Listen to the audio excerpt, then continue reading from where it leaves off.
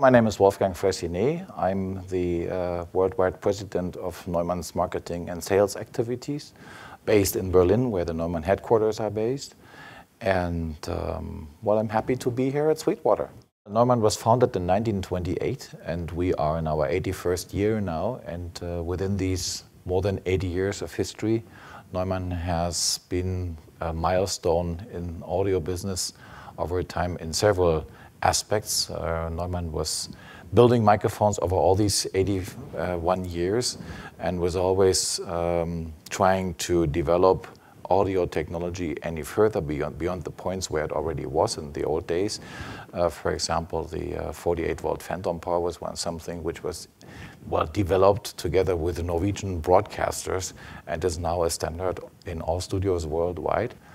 And now we are looking into the future and try to develop analog microphone technology into the digital domain.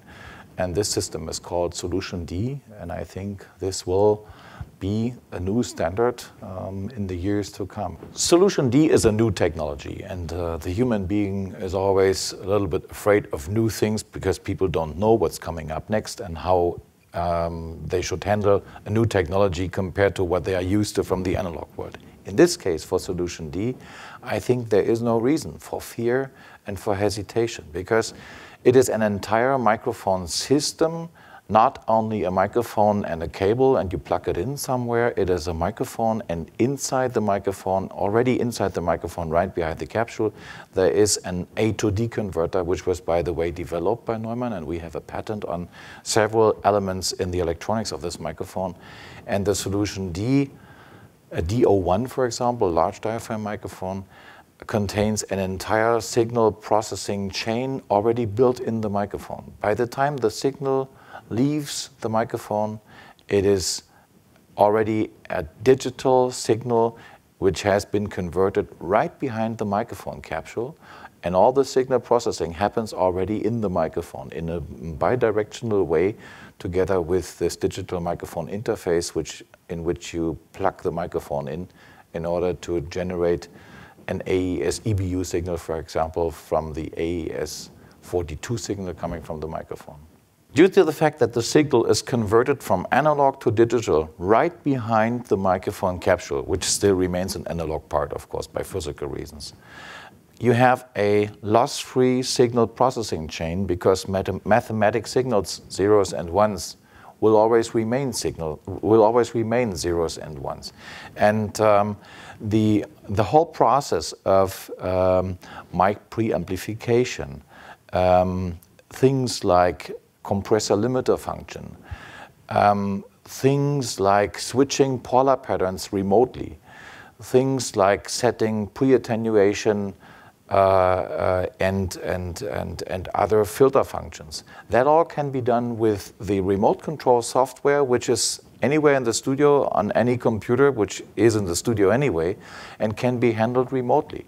That it makes absolute sense for audio engineers, and it's so easy to understand and to handle that you don't need a big training course for that. Once people set up such a system and try, well, play a little bit around with it, it's easy to handle and it saves a lot of time. In these days, there are some manufacturers who are uh, introducing USB microphones, for example. A microphone which you just connect to your computer and you record something, which is maybe good for electronic news gathering or something like that, where sound is not a big issue, it's just speech transmission and things like that. But that's not the role of Neumann in the microphone industry. And uh, I think a USB microphone is something which is necessary and good, and it's good that it's available in the market for, in most cases, $100 or less. But that's something Neumann would not do because we are really concentrating on sound quality for professionals, and that is not our domain. And uh, I think we will remain what we are. If we see, for example, a typical Neumann microphone like the U87, which is a standard in most of the professional studios, a U87 runs 64 handmade quality tests, each individual microphone, before it is packed and shipped to an end user. The average lifetime of this microphone before we see it back in our service labs for cleaning or anything like that, the average is 22 years after we have sold it to a customer. We can change that and have a higher reselling rate and make more revenue with that, but I think then we lose our typical Neumann customer. And we do this, and we follow, the, we follow this philosophy since more than 80 years now. So it works for us, it works for our customers, and I think we should try to be stable and continue like that.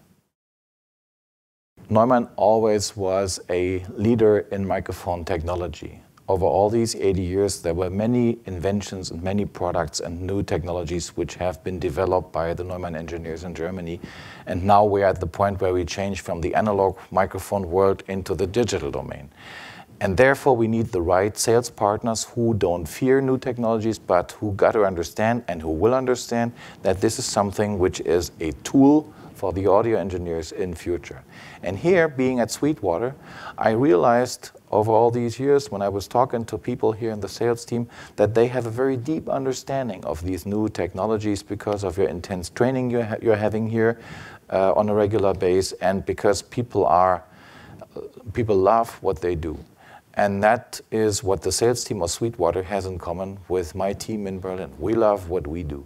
And if we join this together and if we believe in the success of this digital technology in the future, I think we can be successful in a common sense and in a common effort towards this market. One of the most successful partners we can think about here in the United States is Sweetwater.